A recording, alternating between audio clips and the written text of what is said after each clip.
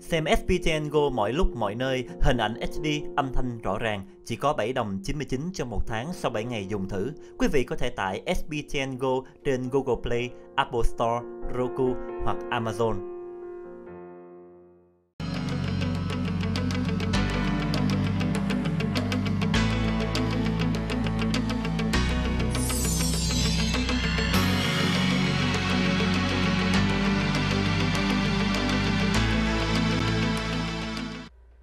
Vâng, luật sư Đỗ Phổ và Trần Đáng xin kính chào quý khán giả của đài truyền hình SPTN. Đây là chương trình bình luận tin tức hàng tuần của SPTN với luật sư Đỗ Phổ và xin chào anh Phổ ạ. Vâng, xin kính chào quý vị uh, khán giả, chào uh, anh Trần Thắng. Dạ vâng.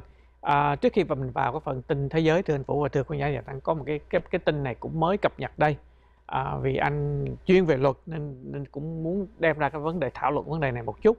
Là hồi đầu năm nay đó thì tổng thống Donald Trump ký một cái lệnh hành pháp cho phép tất cả những cơ sở về y tế hoặc là bác sĩ hoặc là y tá hoặc cơ sở cung cấp y tế có quyền từ chối không phục vụ cho những cái dịch vụ chẳng hạn như vấn đề phá thai, vấn đề ngừa thai, vấn đề cung cấp những về những cho những người đồng tính hoặc những người chuyển giới.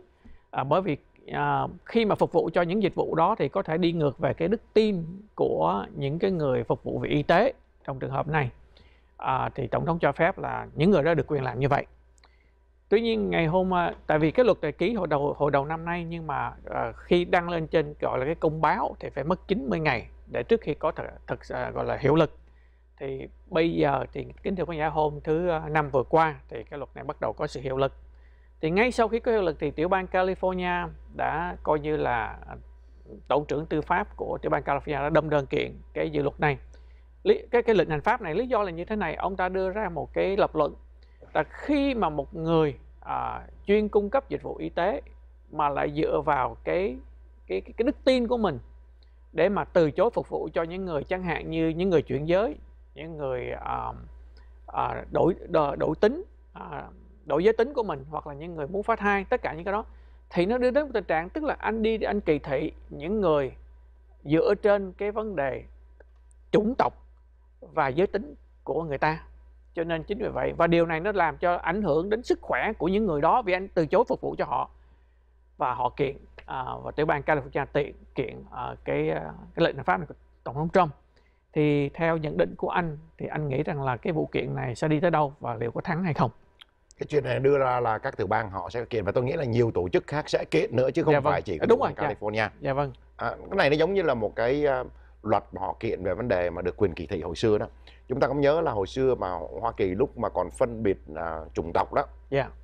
về vấn đề da màu với lại da trắng đó thì ở các hotel cái người mà họ service đó, họ có quyền từ chối không phục vụ cho anh vì màu da của anh à vậy à, à cách đây cũng khoảng chừng vài chục năm trước khoảng chừng năm chục năm trước yeah. à, khoảng chừng sáu uh, thập niên 60 đó yeah. thì chúng ta nhớ là phong trào của Martin Luther King rồi tất cả những người mà nổi lên là tại vì đó là họ bảo là cái đó là cái quyền hiến định của các cơ sở hoặc là cơ sở thương mại họ quyền kỳ thị yeah. Dạ. à, và anh là da vàng đi anh tới một hotel họ có bảo là anh da vàng tôi không muốn service cho anh và cái đó là hoàn toàn hợp lý tại đó là quyền của người chủ yeah. Dạ. mình nghe thì thấy có vẻ hợp lý lắm đó yeah. Dạ. tại vì sao nó nói lên cái quyền được kỳ thị của người dân vâng. tức là anh muốn kỳ thị anh cứ việc kỳ thị yeah. không ai cấm anh cái chuyện kỳ thị để nước nước tự, nước tự do yeah. anh thích ai thì anh thích anh thích kỳ thị ai thì anh thích kỳ thị nhưng mà sau đó thì phong trào nổi dậy và đã đổi đưa đưa cái luật liên bang là người ta không được quyền kỳ thị về màu da và sắc tộc nữa à. thì trong trường hợp này đó tổng thống Trump mà ký một cái lệnh như vậy cũng giống như là tổng thống Trump nói là anh được tiếp tục kỳ thị về vấn đề đức tin của anh À, đó đúng và rồi đó dựa trên vấn đề đức bất tin kỳ yeah. Dạ. ai cũng được yeah. Dạ. theo đức tin của anh thôi yeah. Dạ. và người đó sắp chết đi nữa nếu mà cái đức tin của anh là người này là người chuyển giống hoặc là người này là à, um, cái một người mà mà mà có những cái chuyện mà anh không đồng ý cái đức tin của anh à, với đức tin của anh thì anh có quyền từ chối yeah. thì luật liên bang về vấn đề màu da họ đã bỏ chuyện đó rồi yeah. và tôi nghĩ là cái chuyện này nó sẽ trở nên một cái đề tài rất là lý thú là tại vì nó sẽ lên tới tối cao pháp viện và tối cao pháp viện sẽ là người phán quyết cuối cùng là cái chuyện mà tổng thống Trump á, đưa ra cái luật như vậy có vi hiến hay không thì lúc đó các quan tòa sẽ quyết định là cái mức độ kỳ thị như thế nào là không vi hiến nhưng nhưng mà mức nó, độ kỳ thị nó, thế nào là vi hiến? Dạ, nó, nó lý thú ở như anh vừa trình bày đó là một bên đó là anh vào khách sạn. Nó là cái cơ sở tư nhân. Người chủ có quyền kỳ thị anh. Đúng không ạ? Trước đây hồi là- trước đây trước đây. Tại, tại vì đó Dạ. là một cơ quan mà anh phục vụ à, cả à, công cộng. Dạ. Còn bây giờ là anh dựa vào đức tin. Đức tin bảo rằng là tôi không cái điều đó anh làm là sai. Nó đi sai đức tin của tôi cũng như cái vụ anh nhớ còn còn nhớ cách đây cũng lâu. Có một cặp à, đồng tính lấy nhau đến một cái tiệm cửa hàng bánh, đặt một cái bánh và ông chủ tiệm bánh từ chối không làm cái bánh đó là bởi vì ông không muốn làm cái bánh đó cho hai cái người đồng tính lấy nhau. Thì cái vụ này kiện, và kiện lên tới tối cao pháp viện, và tối cao pháp viện nói rằng là ông chủ tiệm bánh thua. Là bởi vì anh không thể dựa vào đức tin để từ chối làm cái bánh cho hai người đồng tính lấy nhau được. Cái vấn đề đây nó trở lại là tới mức độ nào đó thì cái vấn đề mà tư nhân của anh dạ. Cái đức tin của anh chẳng hạn như vậy trong trường Dạ. hợp này. Và cái niềm tin của anh không phải là đức tin hoặc là bất chuyện gì tôi không thích là tôi làm. Dạ. Tới mức độ nào thì được ảnh hưởng. Ở đây đó là cái luật mà cấm kỳ thị họ không cho phép về vấn đề mà thứ nhất là những cơ sở mà phục vụ công cộng. Ví dụ như là anh tới hotel là cái đó là open to public anh không được quyền làm chuyện đó. Dạ. Nhưng mà nếu mà ở trong nhà anh á anh vẫn được quyền là tôi không thích ông da đen này vô tôi không cho vô. Tôi không thích À. ông da trắng này vô tôi tôi có quyền kỳ thị ông da trắng. Vâng. Trong nhà tư nhân của anh được nhưng mà khi mà anh sang nhượng cái nhà của anh thì anh không lại không được quyền bỏ vô là tôi chỉ muốn bán cái này cho người da trắng. Dạ. Chứ tôi không bán cho người da vàng. Dạ. Cái đó thì là bây giờ lại bị bị bị bỏ qua. Vâng. Và không được thi hành. Nhưng mà anh vẫn được quyền kỳ thị. Nếu anh ở chỉ chặn tại cái chỗ tư của anh anh, anh không muốn người da màu tới. Dạ. Ví dụ như bây giờ tôi nói là mấy người mà KKK đi. Dạ. Họ tổ chức một cái party của họ. Dạ. Ở một cái nhà của họ. Dạ. Họ không open to the public. Họ chỉ mời thành viên của họ thôi. Thì họ vẫn được quyền kỳ thị dạ. Vẫn được quyền giữ cái đức tin họ là tôi chỉ là da vàng và da da đen đó. Không được tới đó thôi. Là không được tới đó. Không sao tại tư gia của mình không sao. À. Nhưng mà ở những nơi công cộng đó, thì câu hỏi đặt ra là liệu tối cao pháp viện có nói là trong trường hợp này những người đồng tính đối nái mà những người dựa vào đức tin của mình thì nó lên tới cỡ đó không được từ chối không? Tôi nghĩ là nó sẽ cho phép chỉ có tư nhân thôi. Tư nhân là ví dụ như ờ, tư gia thôi. Nhưng mà nếu người bác sĩ đó họ mở ra một Văn cái phòng. văn phòng họ họ phục vụ tất cả mọi người. Dạ thì tôi nghĩ là tối cao pháp viện sẽ nói là anh làm như vậy là sai. Anh, thế, thế cái câu hỏi đặt ra là khi khi mà anh nói về này đức tin đức tin công giáo nó khác đức tin do thái giáo khác đức tin Phật hồi giáo giáo khác. khác phật giáo khác.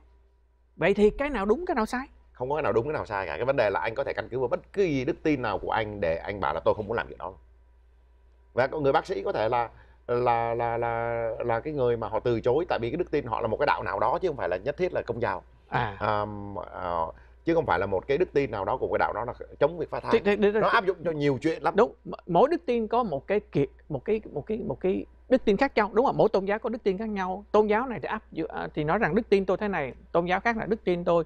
Có thể làm được chuyện đó. Nó khác nhau thì làm sao trong trường hợp là luật áp dụng được? Đúng rồi bởi vậy cái cái luật của tổng thống Trump đưa ra rất là dễ bị kiện là tại vì cái luật đó nó đẻ ra quá nhiều mâu thuẫn. Dạ. Và đức tin như thế nào?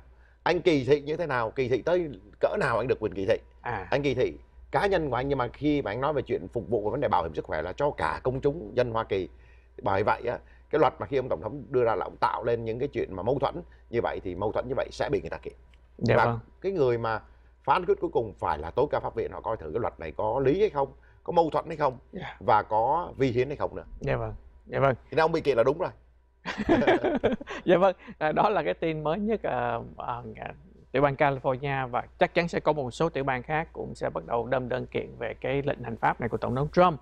À, trở lại một cái tin liên quan đến vấn đề thế giới à, nhưng mà nó cũng liên quan đến Hoa Kỳ kính thưa quý giả thì hồi tuần trước à, một cái bản báo cáo của phía bên Bộ Quốc phòng cho biết rằng là hiện tại phía bên à, Trung Cộng thưa quý giả đang bành trướng Tập Cận Bình đã muốn bành trướng ảnh hưởng cái vành đai và con đường của họ. Anh nếu bây giờ nếu chúng ta nhìn thấy cái bản đồ này thì anh thấy đó Trung Cộng á, là cái là cái anh nằm ở dưới ở vùng Đông Nam Á.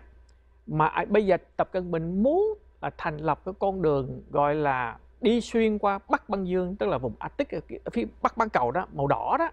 Nó đi qua cái vùng đó để tới Âu Châu để xây dựng một cái con đường thủy gọi là con đường à, à, gọi là con đường à, biển à, biển Bắc Băng Dương. À, con đường như vậy. Thì câu hỏi đặt ra là như thế này. Những quốc gia mà ở vùng Bắc Cực chẳng hạn như Greenland nè chẳng hạn như Na Uy nè những quốc những quốc gia đó anh thấy đó là họ và Nga và Hoa Kỳ và Canada là có những cái khu biên giới như vậy thì họ kiểm soát cái vùng biển này thì còn có hợp lý. Bây giờ Tập Cận Bình là muốn xây dựng một cái hệ thống như hệ thống đường thủy đi ngang qua con đường và sử dụng cái con đường này. Thế thì câu hỏi đặt ra ở chỗ này tại sao cái con đường này bây giờ Tập Cận Bình muốn muốn nhìn nó vào? Bởi vì chúng ta biết là cái sự biến đổi khí hậu nó càng ngày nó càng nóng. Thì ở vùng Bắc Cực đó một số vùng băng tuyết bắt đầu nó nó tan nó ra. tan ra. Mà khi nó tan ra như vậy nó để lộ ra một cái con đường thủy.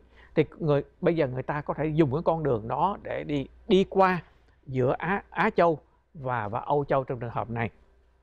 Thì chính vì vậy mà thứ hai nữa là khi nó mở ra như vậy thì nó mở ra cái cơ hội là gì? Là cái những nguồn tài nguyên thiên nhiên rất dồi dào ở dưới đáy biển chẳng hạn như là dầu hỏa hoặc là khí đốt là nó nằm vùng dưới đáy biển rất là nhiều trước đây không khai thác được tại vì băng tuyết quá nhiều tàu không thể tới được. Thì bây giờ tập cận bình sau cái gọi là uh, trung quốc mộng đã xây dựng làm chủ gọi là coi như tuyên bố chủ quyền ở vùng biển đông và tái tạo các các đảo thành đảo nhân tạo.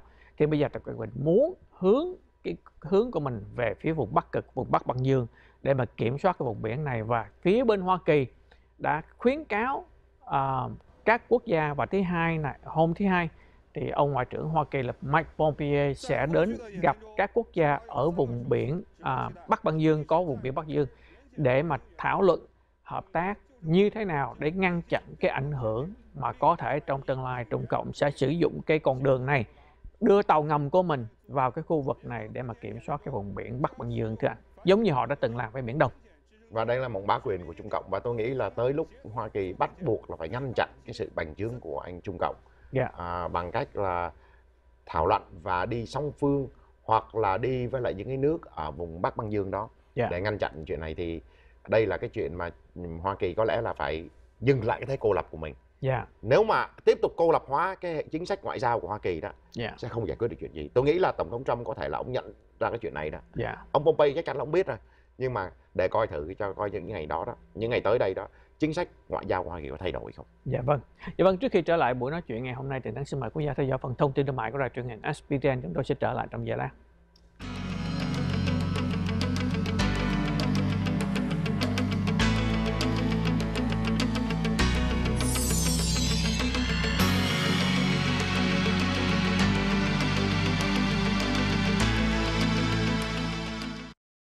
Xem SPTN Go mọi lúc mọi nơi, hình ảnh HD, âm thanh rõ ràng, chỉ có 7 đồng 99 cho một tháng sau 7 ngày dùng thử. Quý vị có thể tải SPTN Go trên Google Play, Apple Store, Roku hoặc Amazon.